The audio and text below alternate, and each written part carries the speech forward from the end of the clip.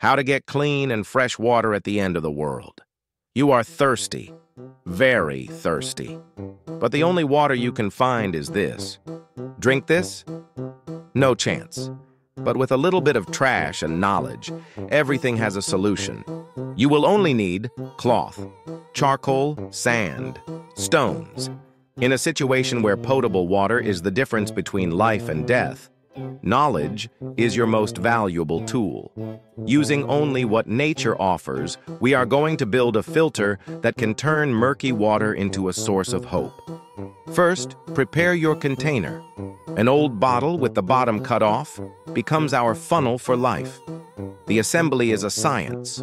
The charcoal becomes the silent purifier, using its porosity to absorb odors, tastes, and chemical impurities that the sand cannot stop.